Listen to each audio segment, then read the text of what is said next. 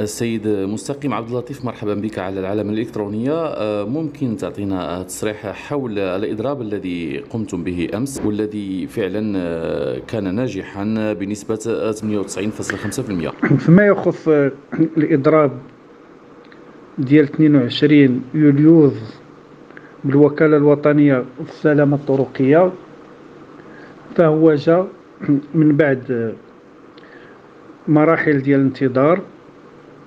اللي ابتدأت أولا منذ انعقاد المجلس الإداري للوكالة الوطنية للسلامة الطرقية حيث أن هذه الأخيرة استثنت في اجتماعها استدعاء التمثيليات النقابية كما ينص على ذلك المرسوم الذي تم بموجبه إنشاء الوكالة الوطنية للسلامة الطرقية.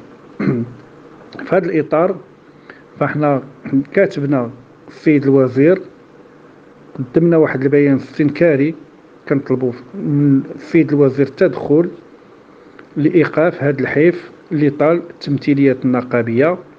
علما أننا في اجتماعات سابقة آه، مع السيد الكاتب العام للوزارة كنا طالبنا منه باش باش أن هذه الوكالات لا الوكالة الوطنية للسلامه الطرقية ولا وكالة الجهازات الاساسيه ولا منظمة الأعمال الاجتماعية للوزارة باش تستدعي النقابات الأكثر تمثيلية باش يعطيوها الممثلين ديالها في هذه المجالس الوطنية.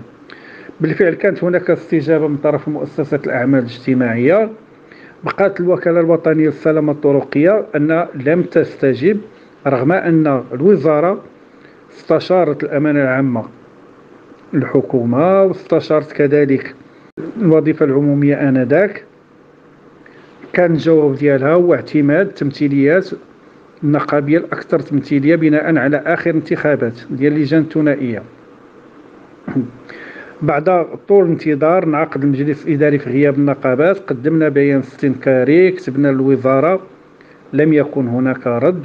إلا في حدود شهر مارس أننا توصلنا آه، بوعد من السيد الكاتب العام للوزارة بأن غادي يكون هناك حوار ولقاء مع المدير العام للوكالة الوطنية للسلامة الطرقية.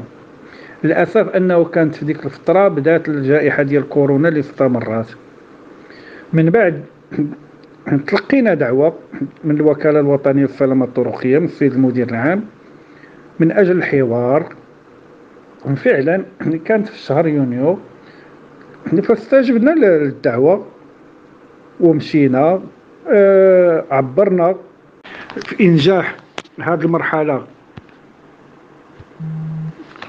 آه ديال تأسيس أو خروج الوكالة الوطنية للسلامة الطرقية إلى حيز الوجود وعبرنا للسيد المدير على مجموعة من المشاكل اللي لمسناها في القانون الأساسي وكذلك بعض النقاط التي لم يتم التطرق إليها في إطار المشروع آه، ديال القانون الأساسي اللي اعتمدته الوكالة. ففي البداية كان السيد المدير إيجابي حقيقة أنه بالحرف قال بأن هذا القانون الأساسي ليس بقرآن منزل. فهو الشيء اللي أعطانا واحد الأمال ودخلنا معه في حوار اللقاء الأول اللي استمر تقريبا ثلاثة ساعات. قدمنا له فيه اقتراحات ديالنا بخصوص نقاط أخرى.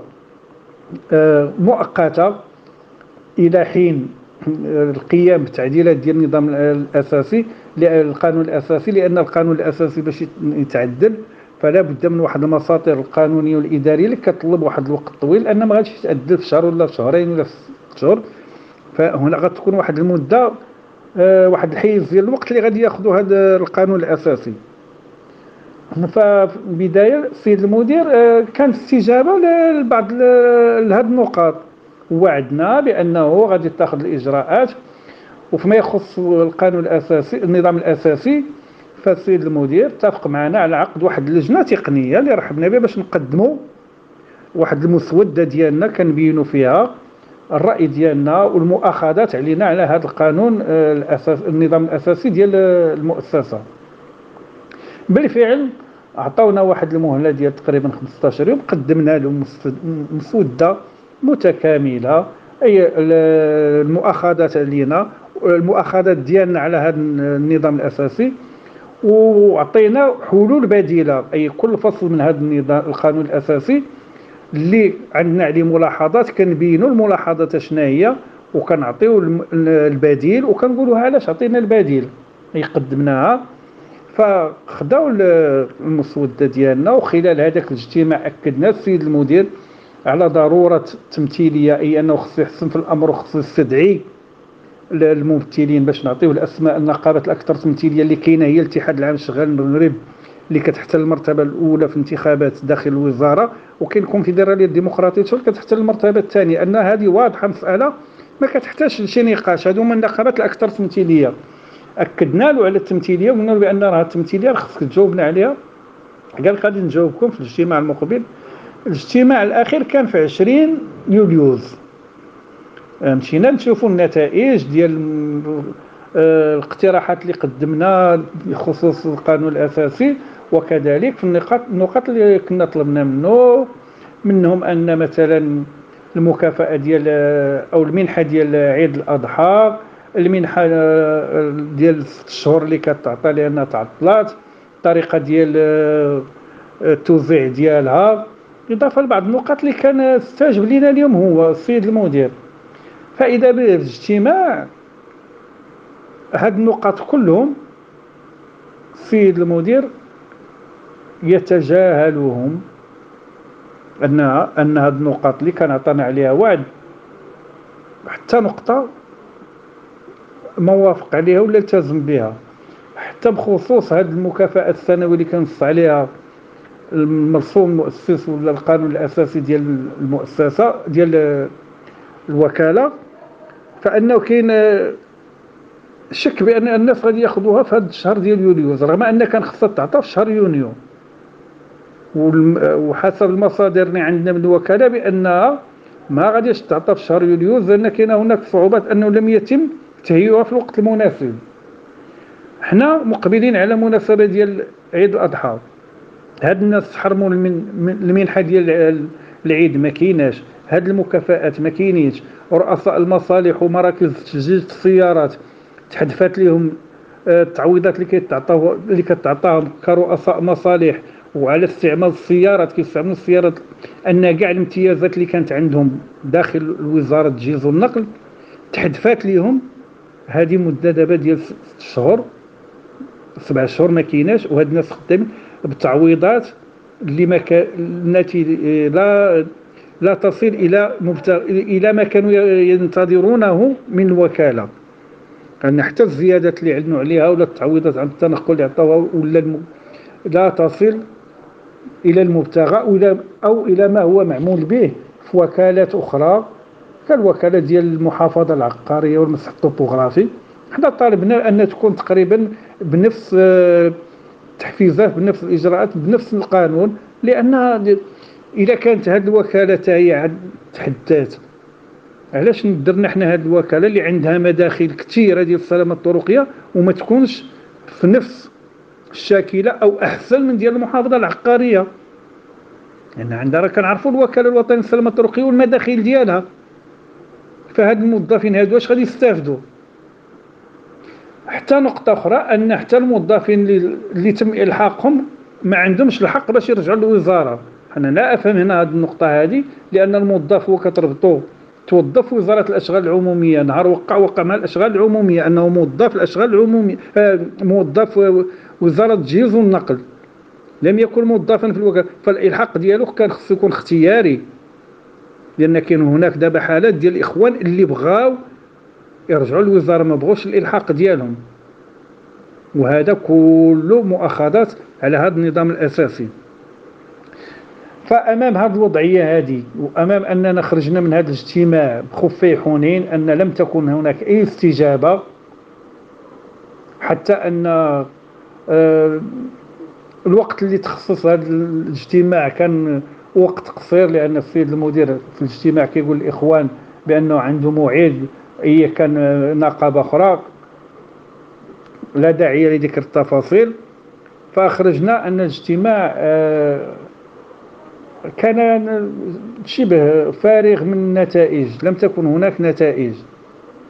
أمام هذه الوضعية فكانت نثق بيننا وبين الاخوان في الكونفدرالية الديمقراطية للشغل. تم الإعلان على الإضراب. هذا إضراب أولي إنذاري ديال 24 ساعة. الحمد لله أن الإضراب عطى النتيجه ديال تقريبا 98.5% ديال النجاح. أنه كان شلل في جميع مراكز التسجيل بالمغرب عامة.